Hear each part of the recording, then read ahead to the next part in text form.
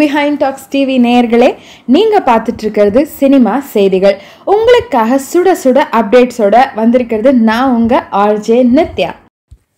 Pranesh International தயாரிப்புல Shaam sir இயக்கத்தில் ஒரு படம் வெளிவர இருக்குங்க. அந்த படத்துல கடைக்குட்டி சிங்கம் விஸ்வாசம் அந்த மாதிரி படங்கள் மாதிரி கமர்ஷியலாக எடுத்துகிட்டு போயிருக்காங்களாமா இந்த கதை வந்து சமுதாயத்தில் நடக்கிற ஒரு முக்கியமான பிரச்சனையை எடுத்து தான் கதைக்களமாக பண்ணியிருக்கோம் அப்படின்னு சொல்லி சொல்கிறாங்க எட்டு தோட்டாக்கள் ஜிவி அந்த படங்களில் நடித்த ஹீரோ வெற்றி தான் இந்த படத்துலேயும் ஹீரோவாக நடிக்கிறாரு.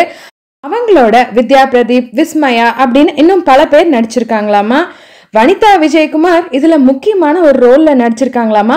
ஆனால் என்ன ரோல் என்ன ஏதுன்ற டீட்டெயில்ஸ் எல்லாம் சஸ்பென்ஸாக வச்சுருக்க போகிறாங்களாமாங்க இந்த படத்தோட இசை வந்து கணேஷ் சந்திரசேகர் அவர்கள் இசை அமைச்சிருக்காரு இந்த படத்துக்கு இன்னும் பெயர் வைக்கல அப்படின்ற விவரத்தையும் சொல்லியிருக்காங்க. சர்க்குணம் அவர்களோட இயக்கத்தில் லைக்கா ப்ரொடக்ஷன்ஸோட ப்ரொடக்ஷனில் அதர்வா ராஜ்கிரண் ராதிகா ஆர்கே சுரேஷ் அப்படின்னு பல முன்னணி நட்சத்திரங்களோட வெளிவர இருக்கு ஒரு படம். ஆனால் இந்த படத்தோட ஹீரோயினை வந்து இன்னும் தேடிக்கிட்டே தான் இருக்காங்களாமா? ஜிப்ரான் சார் தான் இசையமைக்க போகிறாராமா சும்மா பச்சை பசேர்னு சீனரி எல்லாம் எடுத்துகிட்டு வர போகிறாங்களாமா அவ்வளோ அழகான ஷூட்டிங் ஸ்பாட்ஸ் எல்லாம் ரெடி பண்ணி வச்சுருக்காங்களாமா? காவேரி ஆற்றுப்படுகை வெற்றிலை தோட்டம் அந்த மாதிரி இடங்கள்ல தான் இந்த படத்துக்கு ஷூட்டிங் எல்லாம் நடக்க போகுதாமா? ரொம்ப யதார்த்தமான குடும்ப பாங்கான படமா இருக்க போகுது அப்படின்னு படக்குழுவினர் நம்ம கிட்ட சொல்லியிருக்காங்க. என்னோட பதினேழாவது வயசுலயே நான் சினிமாவில் நடிக்க ஆரம்பிச்சிட்டேன்ப்பா. என்னோட லைஃப்பில் நடந்த இன்சிடென்ட்ஸ் சினிமாலையும் சினிமாவில் நடந்த இன்சிடென்ட்ஸ் லைஃப்லையும் அப்படியே ரிஃப்ளெக்ட் ஆச்சு எனக்கு.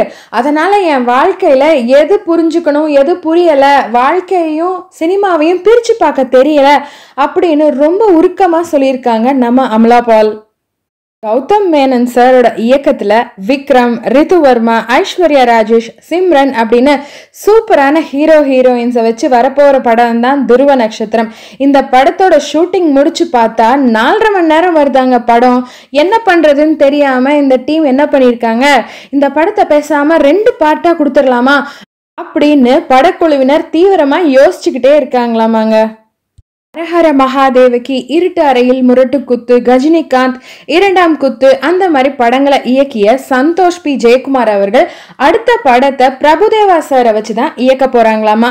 இந்த படத்துல வரலட்சுமி ரைசா வில்சன் இன்னும் நிறைய பேர் நடிக்கிறாங்களாமா? இந்த படத்தை தயாரிக்க போறது மினி ஸ்டுடியோஸ். ஆயிரத்தி தொள்ளாயிரத்தி எழுபத்தி எட்டுல வெளிவந்த சட்டம் என் கையில் அப்படின்ற படத்துல நடிகரா அறிமுகமானவர் தான் நம்ம கட்டப்பா. அதாங்க சத்யராஜ் அவர்கள். இன்னைக்கு நிறைய வாழ்த்துகள் குவிஞ்ச வண்ணம் இருக்கான். ஏன் தெரியுமா? அவர் முதல் முதல்ல நடித்த தன்னோட சட்டம் என் கையில் படம் வந்து நாற்பத்தி மூணு வருஷம் ஆயிருக்காங்க. அதனால தான் திரையுலகினர் எல்லாருமே அவருக்கு நிறைய வாழ்த்துக்களை வந்து அனுப்பிச்சுக்கிட்டே இருந்தாங்களாமா? ராஜமௌலி சார் இயக்கத்துல ராம் சரண் ஜூனியர் என்டிஆர் ஆலியா பட் இவங்க எல்லாரும் நடிச்சு வெளிவர போற படம் ஆர் ஆர் ஆர் இல்லையா? அக்டோபர் பதிமூணாம் தேதி ரிலீஸ் பண்றோம் அப்படின்னு இன்னைக்கு தேதியை சொல்லிட்டாங்கங்க. இது தமிழ் தெலுங்கு ஹிந்தின்னு மூணு லாங்குவேஜஸ்லயும் at the same time release ஆக போகுதாமா?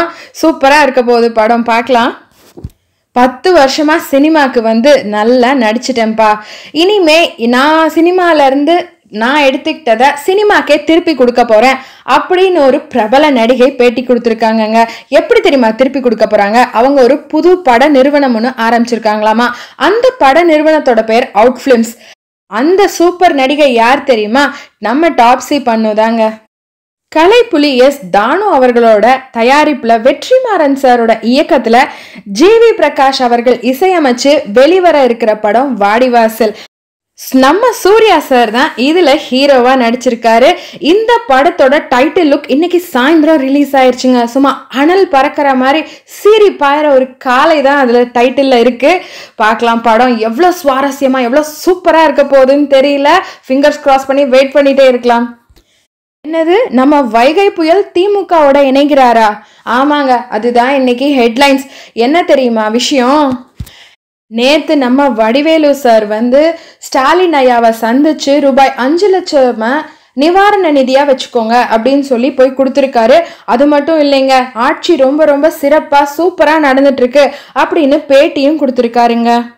அவர் ரெண்டாயிரத்தி பதினொன்று எலெக்ஷன்ஸ் அப்போது திமுகக்கு ஆதரவாக அவர் வந்து பிரச்சாரம் பண்ணியிருக்காரு. ஆனால் அந்த முறை அதிமுக தான் வந்து ஜெயிச்சு ஆட்சியை பிடிச்சிருக்காங்க.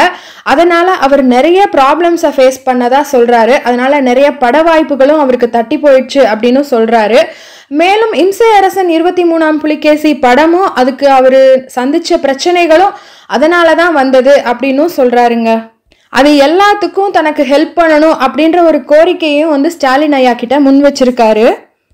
அவரும் வந்து சரி திமுகவால் இவர் நிறைய ப்ராப்ளம்ஸ் இந்த பத்து வருஷமாக ஃபேஸ் பண்ணியிருக்காரு. கொஞ்சம் உதவலாமே அப்படின்ற ஒரு எண்ணத்துலையும் இருக்காராமா? ரெண்டாயிரத்தி பதினாறில் நடந்த அடுத்த எலெக்ஷன்ஸ்லையுமே திமுக வந்து வெற்றி பெறலை. அதிமுக தான் வந்து ஜெயிச்சு ஆட்சியை பிடிச்சாங்க. அதுக்கப்புறம் முன்னாள் முதல்வர் நம்ம ஜெயலலிதா அம்மா வந்து இறந்த பின்னாடி அதுக்கப்புறம் கொஞ்சம் கொஞ்சம் பட வாய்ப்புகள் அவருக்கு வந்ததாகவும் சொல்கிறாங்க இனிமே இந்த பிரச்சனை இம்சை அரசன் இருபத்தி மூணாம் புலிகேசி பட பிரச்சனை சால்வ் ஆன பின்னாடி அவருக்கு திருப்பி பழையபடி பட வாய்ப்புகள் வரும் அப்படின்னு அவர் எதிர்பார்க்குறாரு. அதுக்கப்புறம் ஆனால் எனக்கு அரசியல்லாம் இன்ட்ரெஸ்ட் இல்லைப்பா. ஆனால் நான் எப்போயும் வந்து திமுகவோட விசுவாசி அதுக்காக நான் பாடுபடுவேன் அப்படின்னு சொல்லி சொல்லியிருக்காருங்க. மேலும் திமுகவோட தலைமையகமான அறிவாலயமும் போயிட்டு அங்க இருக்கிற நிர்வாகிகள் பூச்சி முருகன் சார் அவங்க எல்லாரையும் பார்த்து பேசிட்டும் வந்திருக்காருங்க. என்னங்க இன்னைக்கு அப்டேட்ஸ் எல்லாம் ஃபுல்லாக கேட்டிங்களா? இதே மாதிரி இன்னும் நிறைய அப்டேட்ஸ் கேட்கணும் அப்படின்னா நம்ம சேனலை நீங்கள் சப்ஸ்கிரைப் பண்ணணும். அந்த பெல் பட்டன் ப்ரெஸ் பண்ண மறக்காதீங்க. இதை எல்லாத்தையுமே உங்கள் ஃப்ரெண்ட்ஸ் கூட ஷேர் பண்ணணும்னு நினச்சிங்கன்னா இப்போவே ஷேர் பண்ணுங்கள் லைக் பண்ணுங்கள் கமெண்ட் பண்ணுங்கள் until then this is bye from R Jayanthitya take care stay safe bye